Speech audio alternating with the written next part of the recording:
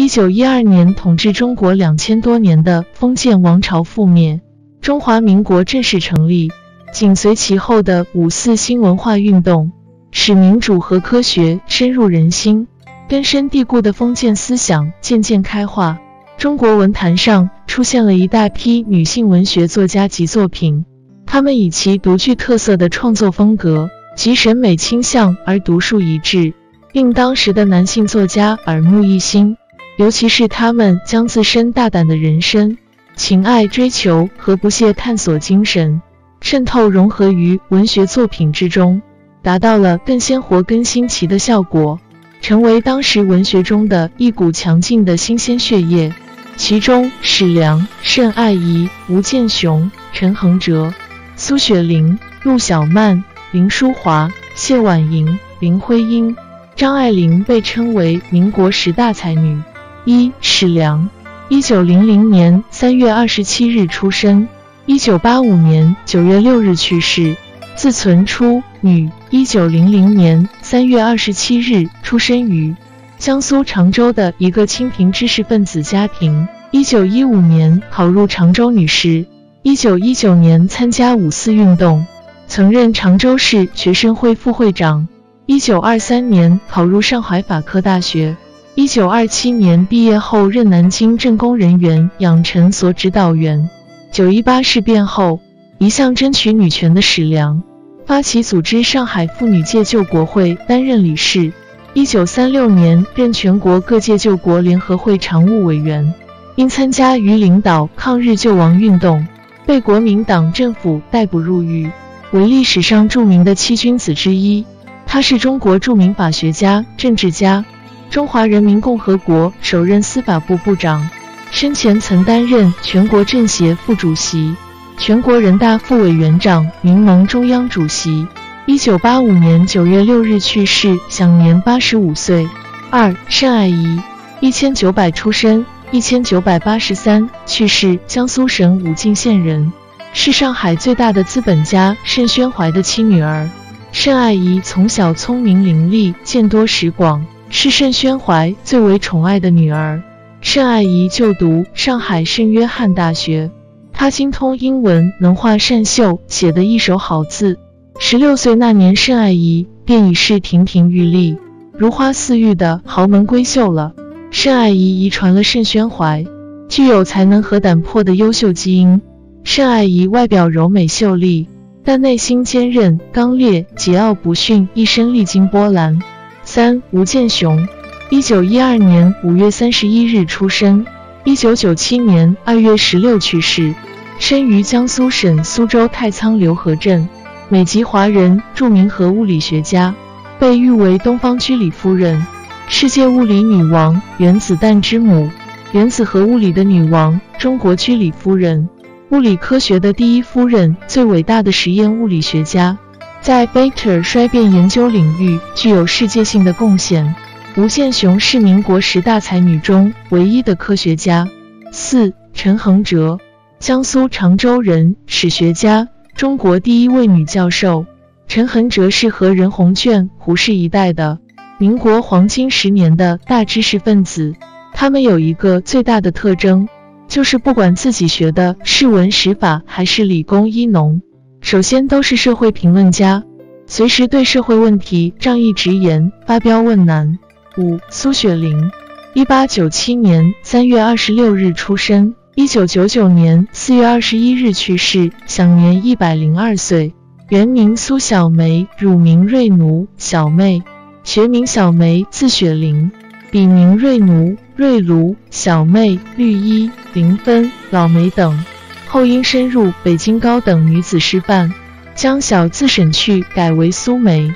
有法回国后，又以字为名，即苏雪玲，籍贯安徽太平县岭下村，出生于浙江省瑞安县县城衙门里。他一生从事教育，先后在沪江大学、国立安徽大学、武汉大学任教，后到台湾师范大学、成功大学任教。他笔耕不辍，被誉为文坛的常青树。六陆小曼。一九零三年出生，一九六五年去世，江苏常州人，近代女画家，师从刘海粟、陈半丁、贺天健等名家。晚年被吸收为上海中国画院专业画师，曾参加新中国第一次和第二次全国画展。陆小曼擅长戏剧，曾与徐志摩合作创作五幕话剧《卞昆冈》。他还安昆曲，也能演皮黄，写的一手好文章，有深厚的古文功底和扎实的文字修饰能力。因与徐志摩的婚恋而成为著名近代人物。一九六五年四月三日于上海华东医院逝世，享年六十三岁。七林淑华，林淑华确实可以称为高门巨族的精魂。其祖父林朝庚乃广东番禺巨富，其父林福鹏与康有为是同榜进士，官至直隶布政使、授一品顶戴。民国以后，在北洋政府中担任要职。林淑华儿时即师从宫廷师缪素君。稍长又从辜鸿铭学习英语，待到妙龄，又面见印度诗人泰戈尔，嫁给大才子陈希莹，与徐志摩、胡适等人成为密友。中年之时，又与苏雪玲、袁昌英并称骆家三杰。八谢婉莹，冰心，一九零零年十月五日出生，一九九九年二月二十八日去世，原名谢婉莹，福建长乐人。中国民主促进会民进成员，中国诗人、现代作家、翻译家、儿童文学作家、社会活动家、散文家。笔名冰心取自一片冰心在玉壶。一九二三年出国留学前后，开始陆续发表总名为《记小读者》的通讯散文，成为中国儿童文学的奠基之作。一九四六年在日本被东京大学。聘为第一位外籍女教授，讲授中国新闻学课程。于一九五一年返回中国。一九九九年二月二十八日二十一时十二分，冰心在北京医院逝世，享年九十九岁，被称为世纪老人。九林徽因，一九零四年六月十日出生，一九五五年四月一日去世，女，汉族，福建闽县金福州人。出生于浙江杭州，原名林徽因，其名出自诗《大雅思齐》。大四四徽因，则百思难。后因常被人误认为当时一作家林徽因，故改名徽因。中国著名建筑师、诗人、作家，人民英雄纪念碑和中华人民共和国国徽深化方案的设计者、建筑师梁思成的第一任妻子。三十年代初，同梁思成一起用现代科学方法研究中国古代建筑，成为这个学术领域的开拓者。后来在这方面获得了巨大的学术成就，为中国古代建筑研究奠定了坚实的科学基础。文学上，著有散文、诗歌、小说、剧本、译文和书信等，代表作《你是人间四月天》《莲灯》《九十九度中》等。